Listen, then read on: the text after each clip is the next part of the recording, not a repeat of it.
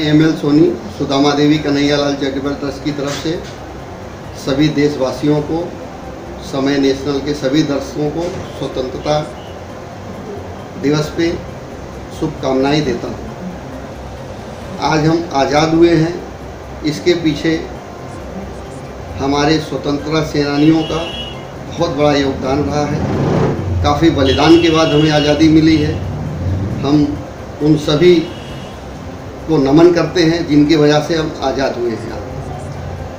और भारत देश अपने आप में एक महान देश है जो आने वाले समय में जगत गुरु बनेगा।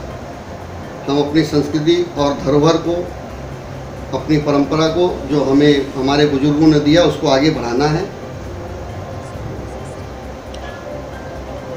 उसको आगे बढ़ाते हुए हम अपने देश को जो दे सकते हैं जो हम हमें देना चाहिए, किसी भी रूप में योगदान देना चाहिए। बहुत सारी शुभकामनाओं के साथ, धन्यवाद। जय हिंद, जय भारत, जय महाराष्ट्र।